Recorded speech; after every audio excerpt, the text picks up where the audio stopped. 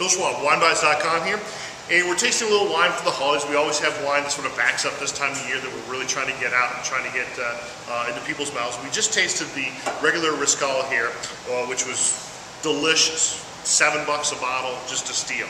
Now, a little bit more expensive is the Reserva. And this is actually Rioja.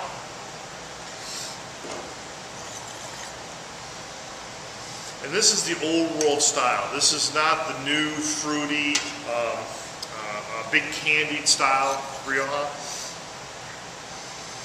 Leathery, spicy, a little bit of earthiness, a little bit of gaminess. Good framework of oak. This gives it that um, little bit of caramel, cinnamon sort of side notes to it, a little bit of cigar box.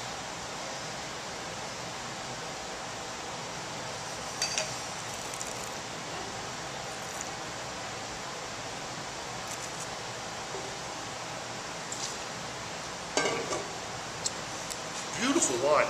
Uh, now this got uh, 90 points, 90 points uh, spectator, which is a, a, great score, especially for, normally this is in the $18, $19 range. We're going to squeak it down to about the $14 range for you. This is for the holidays. We're really going to try to crank it out. Um, we're just going to be the best price on the internet, and uh, we're going to get it to you. Beautiful packaging to it. Gold wrap wire. Uh, great Christmas present highly rated, delicious wine, 14 bucks. Anything under 15 bucks, 90 point spectator is a great deal. This is a steal. And great with food too. This would be wonderful with anything you want to put on the table for the holidays.